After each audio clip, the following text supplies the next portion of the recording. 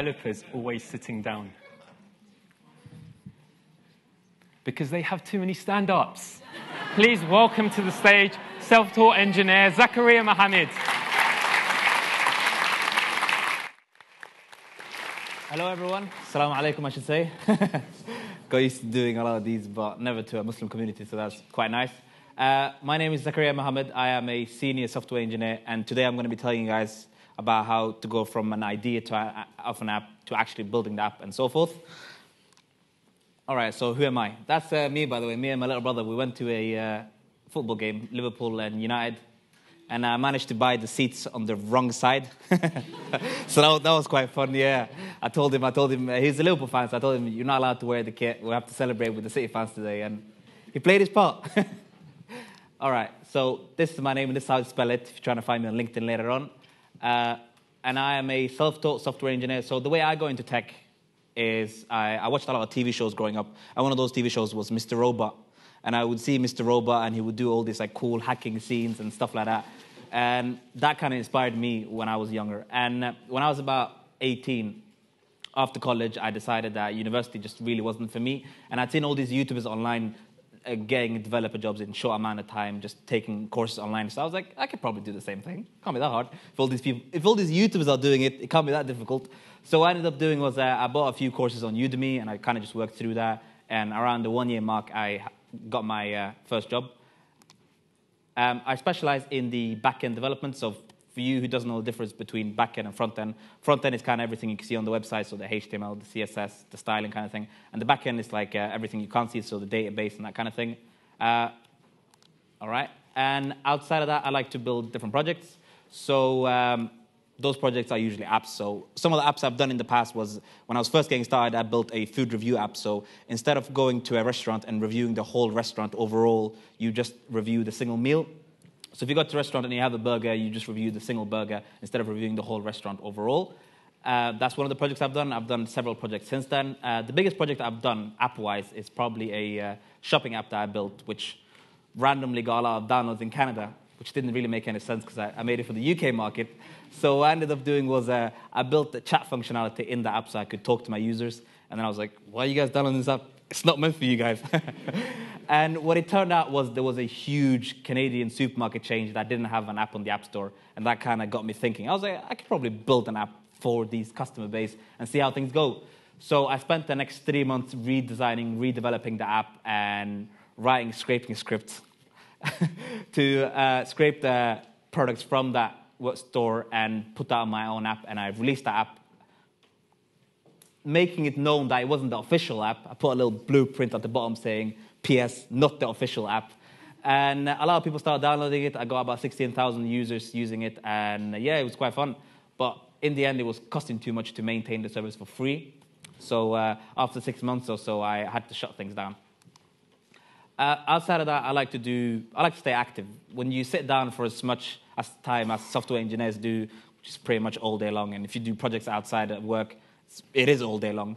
Then uh, you need things to keep you active. So outside of that, I like to play football. I go swimming, and I do CrossFit. For those of you who know what CrossFit is, I'm going to go into too much detail.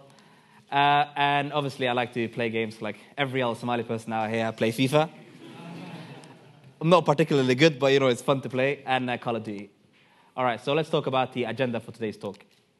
First, we talk about the app, app, idea evaluation. So you have an idea for an app, but is it worth carrying out, and how do you go about doing it? Secondly, we're talking about picking the perfect technology stack. So you have an idea for an app, the app is worth carrying out, how do you build it? And thirdly, we talk about crafting an MVP and trying to get to the market as quickly as possible. And we'll finish off with a conclusion. So, app idea evaluation. So, you have an idea for an app, and you're thinking, is it worth carrying out? Is it worth investing time in? So I say the first thing you should think about is who are your target audience, okay? Who are you building this app for? What problem are you solving? Secondly, analyze the competition. More often than not in this day and age, when you come up with an idea for an app or anything, someone else has already done it. And that's not usually a problem. You can go and see what the competitors are doing. Maybe you can download their app, find out what their weak points are, find out what their strengths are, and then work from that. Thirdly, determine your app's USP. So you've seen an app on the App Store, someone else has the exact same idea as you have, which happens to me all the time. How do you stand out from the crowd? and then you estimate market size and growth. So there's an idea out there, you're thinking about doing it. Is there enough? Is, is the market big enough for multiple people to do the same thing? And explore monetization strategies. You don't necessarily have to have this one figured out right from the get go, but it's something that's important to keep in mind because more often than not, you build something and a lot of people start using it and you can't afford to maintain it kind of thing. So it's good to start thinking about that early on and validate with customers as soon as possible. You have an idea, try to get a prototype out as soon as possible. That doesn't even have to be a finished product. You can do some designs, mock-ups, get it out to people, and get feedback as quickly as possible. So let's talk about picking the right technology stack. In this day and age, which I'm saying too many times now, there's a lot of technologies you can choose from, and you have to decide which technology is right for what you're trying to build. So decide on what core functionalities that you want to have included in your app. So if you're trying to do a food app, for example, or a restaurant app, search is quite important. So you might be thinking about maybe using Elasticsearch. Uh, prioritize performance. So don't necessarily just to choose technologies that you are familiar with or technologies that you've worked with. Try to expand your skill set and think about technologies that can um, have good performance for the end user and consider the target platform. So if you're trying to build an app, you have to think about, am I building this just for iPhone people? Am I building it for Android people? Am I doing it for both? there's a lot of good solutions out there for uh, building cross-platform applications, and there's also good ones doing it natively. Preferably, myself, I like to do stuff for iPhone because everyone knows has an iPhone, and if you don't have an iPhone, you should get one. and ensure scalability. So, whatever technologies you do decide to go with, make sure the technologies can scale up to handle the traffic. So, you build an app, think about the backend services, for example. So you, you, have an app and you have customers and you have your backend, and maybe you're using an EC2 instance, for example, and maybe you go for the cheapest option, and then you start getting users, and then you realize that the EC2 instance keeps going down or you can't handle the traffic. So one thing to keep in mind is how can you build something that can easily scale up when it comes to it, and accelerate development. Try to find technologies that can easily allow you to add new functionality and quickly change things as you go along. And try to find something with strong community usually less important this day and age. I think with uh, Chat GPT, you can pretty much just ask it for anything. Um, whenever I'm building something now, and if I've done the same thing over and over again, or if I, I'm very tired, it's like 12 o'clock and I can't be asked to think, I'll just ask ChatGPT to do it, and then I'll copy and paste the code, which isn't a good idea all the time, but most of the time, it's, um, if you know what the right solution looks like, you can just have a look at it and make a few adjustments. All right, let's talk about building an MVP. So you have an idea for an app, the app is worth carrying out, you've decided technologies, how do you go about actually building it? So another point I'll cover again is prioritize essential features. So focus on the most important thing. A lot of mistakes I've seen a lot of people do when it comes to not, not necessarily just building apps, but building services is trying to build a lot of features as much as they can instead of just focusing on the essential features. One mistake that's very common is trying to build something you, you think the customer wants, but the customer doesn't actually want. So try to get to market as early as possible with just the most important features. So to give you guys an example, right now I am building an app for uh, Muslims in general that will have like everything the Muslim can need. So everything from like prayer times to Quran to Hadith and everything.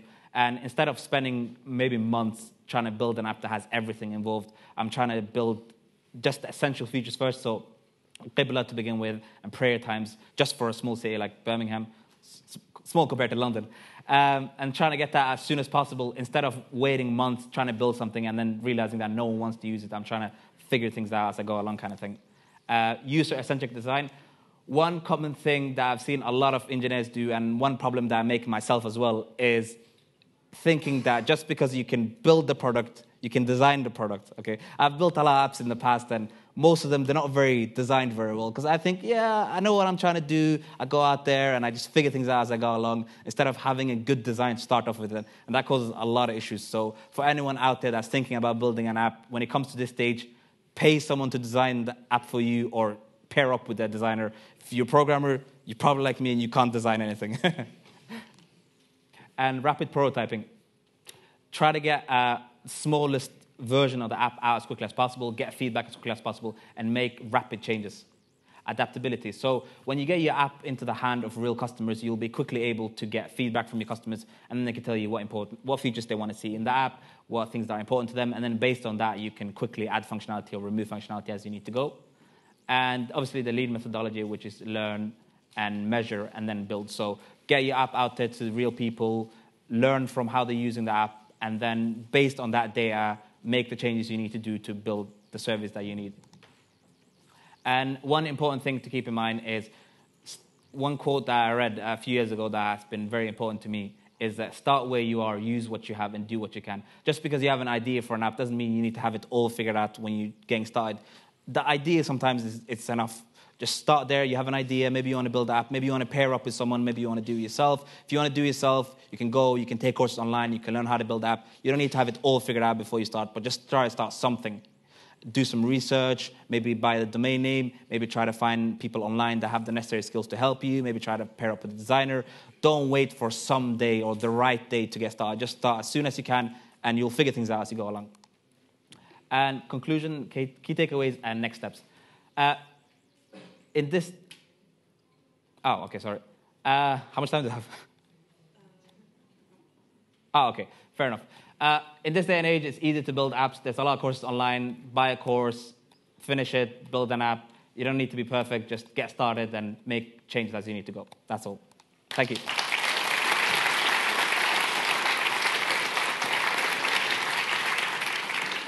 Thank you so much for sharing your journey with us.